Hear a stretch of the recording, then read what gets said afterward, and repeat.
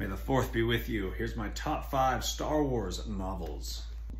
Starting with Thrawn, the Disney canon Thrawn. I love Heir to the Empire too, but not a top five. This book, seeing how Thrawn gets uh, thrown into the Empire, how the Emperor himself ends up just loving him and seeing his tactical abilities and putting him on missions. He keeps climbing the ranks.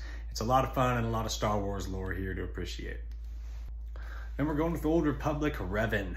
This is an amazing story. It doesn't let you go. It's very engaging. The pacing is on point. The action is incredible. The characters are fantastic.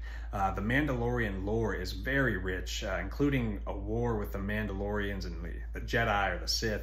Revan, uh, man, there's just so much. The Sith hierarchy, Sith lore. This book doesn't let you go, and it's amazing. I think it's a must read for especially Sith fans of Star Wars and I needed the Plagueis book on here. This is a prequel to the prequels.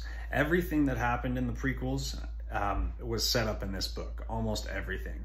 We're talking about Palpatine, his master, Darth Plagueis. We're talking about the corruption of the Senate and the Republic and all these plans, the clones, Darth Maul. Plagueis finds Darth Maul as a little kid here and trains him.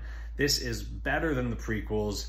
Revenge of the Sith is really good, but this is better than episode one and two, and it sets up the whole thing so well. If I would be okay with a prequel again, I would say please make this prequel, but you know. And next we're going with Path of Destruction. Oh, how'd you get in there? And Rule of Two, not book three, but the Rule of Two, and this is the same series, and it only seemed appropriate that both of these count as one in the top five because they both deserve a spot. They're both fantastic.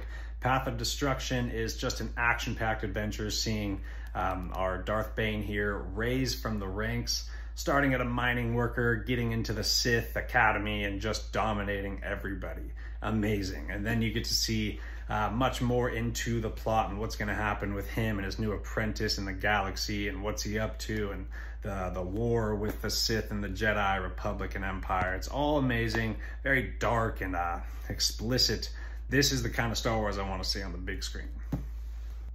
And if picking two books is cheating, I will pick Lost Stars to fill out the top five. I almost picked Dark Disciple, but with all the Clone Wars stuff out there, Dark Disciple felt less special this time around. Lost Stars takes place in the nostalgic OG trilogy era of Star Wars. It's fantastic. It's a story not about Jedi and Sith. It's about two people wanting to be pilots, one on the Republic side, one on the Empire side, but they're already in love, so that's going to obviously split them up a bit. You get to see a lot of the big events that took place in the OG movies in this book um, from their perspective, and that's really special. So it's just a really solid read, especially if you are a huge fan of the OG trilogy. Um, just spectacular.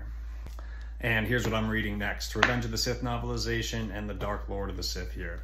Now, the podcast and Why So Sidious, we did a top five Star Wars novel a year ago. Things change, we read new books. This is an updated list, but you can still check out that episode if you want to see the conversation on our top five novels. It's an early episode, but um, still a lot of fun.